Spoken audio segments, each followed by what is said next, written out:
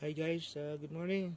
Uh, today I'm gonna show you the uh, how you uh, identify the uh, uh, female Italian Coturnix. Yeah, have you seen this uh, lighter color uh, at the breast and a peckled one, and at the vulva?